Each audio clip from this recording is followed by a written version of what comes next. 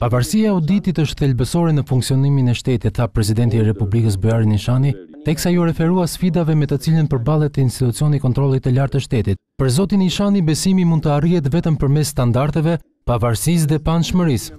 Paanshmëria në një shoqëri me dinamizëm të admirueshëm siç është shoqëria shqiptare, është gjithashtu një sfidë.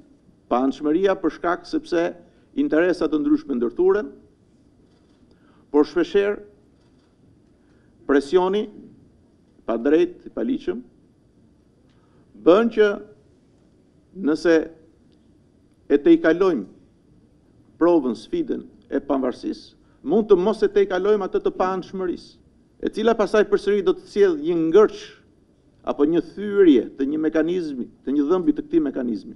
Dhe përsëri nuk do të shkojmë Dhe nuk do të kemi besim të plotë dhe mirëbesim të plotë. Në konferencën shkencore të organizuar nga KLSH, kreu i shtetit tha se fakti që kontrolli ka objekt të punës financat shtyn drejt një standardi të unifikuar të institucioneve.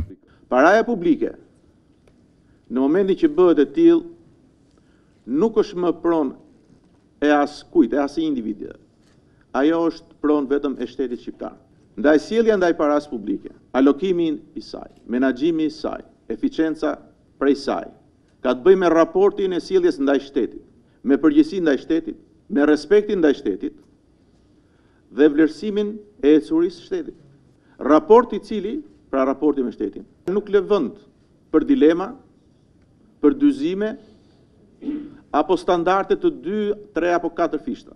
Presidenti Nishani tha se rruga e vetme e vendit është integrimi europian dhe për këtë nevojitet forcimi i institucioneve dhe koncepti i gjithëpërfshirjes. Procesi i integrimit të Shqipërisë në Bashkimin Europian nuk është një çështje vetëm e një vendimmarrje të caktuar politike. Vendimmarrja politike përmbyll procesin formal. Është çështja e arritjes së atyre standardeve të cilat mbi bazën vetëm të një ekonomie, të një demokracie funksionale, do të bëjë të mundur të arrijmë atë detyrë dhe përgjegjësi që kemi në fund fundit karshi qytetarëve shqiptarë ndaj vetes sonë.